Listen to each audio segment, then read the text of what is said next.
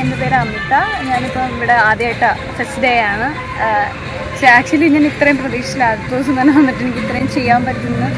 So എന്റെ ഇവിടെ വന്നിട്ട് ഒരുപാട് ആളുകൾ വരുന്നുമുണ്ട് I think it is a very good opportunity അല്ലേ? ലൈക്ക് നമുക്ക് ഇങ്ങനെ ഒരു അവസരം കിട്ടാത്തതുകൊണ്ട് മാത്രമാണ് നമ്മൾ ഇത്രയും കാലം സൈക്ലിംഗ് പഠിക്കാഞ്ഞത് ഇരുന്നതെന്ന് തോന്നുന്നു like it is not a tough task thanks okay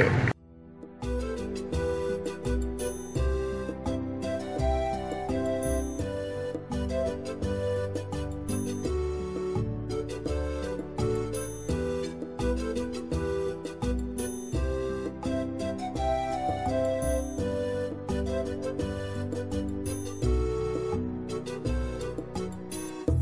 you.